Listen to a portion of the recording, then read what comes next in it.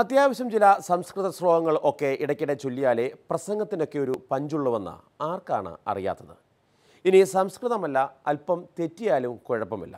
അതിന്റെ പരിഭാഷ എന്ന് പറഞ്ഞ് എന്തെങ്കിലുമൊക്കെ അങ്ങ് നല്ല മലയാളത്തിൽ പറഞ്ഞാൽ മതി. എനിക്ക് ഈ കാര്യത്തിൽ വലിയ പരിജ്ഞാനമില്ലെങ്കിലും അതുമായി ബന്ധപ്പെട്ടുള്ള ഒരു ചെറിയ ശ്രമം നടത്തിയപ്പോൾ ഞാൻ മനസ്സിലാക്കിയത് കഠനോപദേശത്തിലെ ശാന്തിമന്ത്രം ശാന്തിമന്ത്രം ഭാരതീയ വിദ്യാഭ്യാസ സങ്കല്പത്തിന്റെ മൂലമന്ത്രം കൂടിയാണ് എന്ന് നമ്മൾ കാണേണ്ടതുണ്ട്.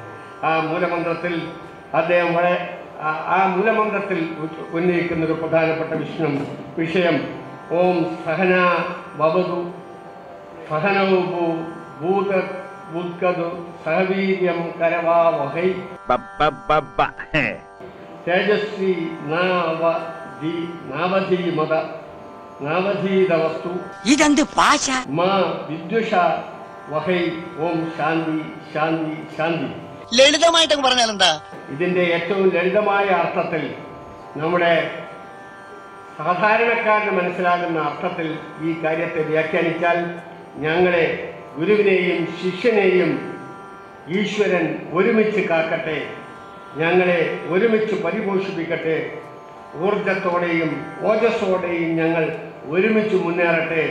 പഠനം ഞങ്ങളിൽ വെളിച്ചം നിറക്കുകയും വിദ്വേഷം ഉണർത്താതിരിക്കുകയും ചെയ്യട്ടെ എന്ന അർത്ഥമാണ് പണ്ഡിതനാണെന്ന് തോന്നുന്നു. അർത്ഥം പറഞ്ഞൊന്നും കേട്ടില്ലേ അപ്പോൾ ഈ ആഴ്ചത്തെ കളം വിടുകയാണ്.